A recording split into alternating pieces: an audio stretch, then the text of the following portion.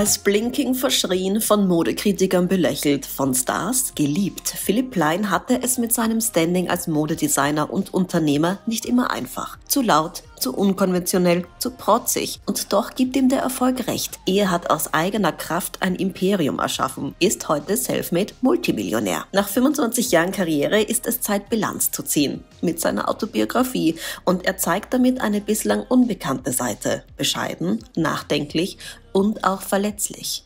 Philipp, du bist eine Weltmarke, du bist ein Multimillionenkonzern. Ganz frech gefragt, macht Geld glücklich oder ist es der Erfolg, der glücklich macht? Ich glaube weder noch. Ich glaube, um über jetzt meine Wenigkeit zu sprechen, ist es folgender Fall. Als ich jung war und kein Geld hatte, habe ich natürlich gedacht, Geld macht glücklich. Und es war natürlich auch das Hauptziel, irgendwann mal erfolgreich zu sein. Und in unserer Gesellschaft, musst du wissen, wird Erfolg immer wieder mit materiellem Erfolg in Verbindung gebracht. Ja? Wie messen wir Erfolg? Wir messen in unserer Gesellschaft meistens Erfolg an, wie viel Geld oder wie viel verdienst du oder was hast du erreicht im Haus, Leben. Haus, Auto, okay. Urlaub. Genau. Und das sind eigentlich so diese Parameter. Und ganz am Anfang, weißt du, wenn man all das nicht hat, ist natürlich das, was man nicht hat, ist immer erstrebenswerter als das, was man hat. Nach einer gewissen Zeit, nachdem du dir diese materiellen Wünsche irgendwann mal erfüllt hast, rücken natürlich dann irgendwann in den Hintergrund. Und dann merkst du natürlich, dass materielle Dinge nicht eigentlich das Ziel des Lebens sind oder nicht das wirklich Erstrebenswerte im Leben sind. Okay? Und deswegen kann ich sagen, dass, dass Erfolg und, und, und äh, Geld weder das eine noch das andere wirklich zum Glück beitragen. 25 Jahre hatte er nur eines im Kopf, seine Visionen in die Realität umzusetzen. Er ist ein Workaholic, lebt für die Arbeit, schläft nie länger als sechs Stunden und trotzdem denkt er heute ein wenig anders über die Arbeit, denn er ist vor wenigen Wochen zum dritten Mal Papa geworden. Für mich persönlich heute wie ich vor dir sitze, du hast es gerade gesagt, mein dritter Sohn wurde gerade vor vier Wochen geboren.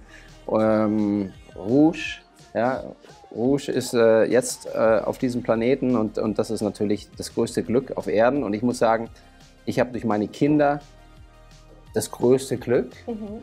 eigentlich erfahren. Ein größeres Glück kann ich mir eigentlich heute nicht mehr vorstellen. Und ähm, ich kann mich auch nicht erinnern, dass ich jemals so glücklich war, wie ich es heute bin, als Vater mit meinen Kindern. Bei meinem ersten Sohn war das ein bisschen komplizierter. Das war eine äh, lange und traurige Geschichte, weil kurz nachdem er geboren wurde, ist die Mutter nach Brasilien zurückgekehrt und ich hatte fünf Jahre überhaupt keinen Kontakt zu meinem Sohn. Und das war sehr schwierig. Es war eine schwierige Situation für mich, unter der ich mehr gelitten habe, als ich mir es persönlich hätte vorstellen können, mhm. weil ich dachte immer, ich bin unantastbar, ich bin so strong, ich bin so selbstbewusst, selbstbewusst und, und mich kann nichts stoppen. Ja.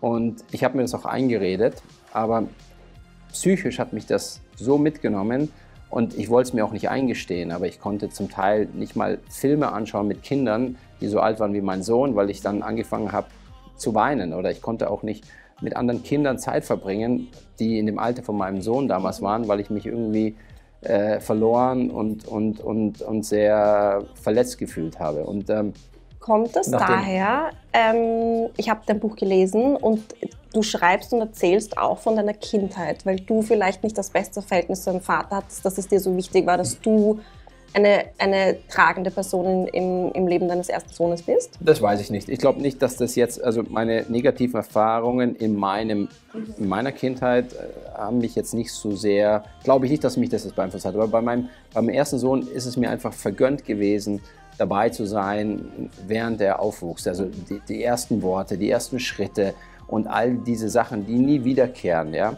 Nach, nach vielen Jahren, also nach fünf Jahren, kam es dann zu dem Punkt, dass wir uns äh, wieder gesehen haben, ich und mein Sohn. Und das war natürlich schon eine sehr emotionale äh, Situation. Muss ich vorstellen, mein Sohn hat kein Englisch gesprochen, kein Deutsch gesprochen, sondern nur Portugiesisch.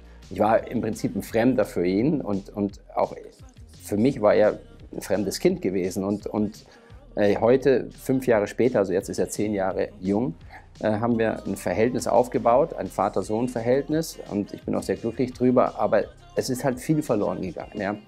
Und als äh, Rocket, Rocket Halo Ocean geboren wurde, mein zweiter Sohn, vor eineinhalb Jahren, ja, ähm, habe ich all dieses Glück und all diese, diese, diese, Ver, diese Verletzungen, die mir zugeführt wurden, äh, ich konnte das, meine Seele heilen. Also, und deswegen bin ich wirklich also ein, ein, ein, ein, ein Vater, der wirklich sehr präsent ist im Leben meiner Kinder ja, und der das auch sehr genießt und es tut mir selber gut. Und ich habe wirklich also wenn du mich heute fragst, was ist dein Traumberuf, mhm. dann kann ich nur sagen Vater. Ja? Aha, ja. Und, und, manchmal tut es mir wirklich auch äh, schwer, äh, in die Arbeit zu gehen, weil mein Sohn anfängt zu weinen und sagt, Papa, geh nicht weg. Und, und also wir sind schon sehr touch. Wir haben ein sehr enges Verhältnis. Und er schläft auch noch bei uns im Bett. Also beide Kinder schlafen bei uns im Bett.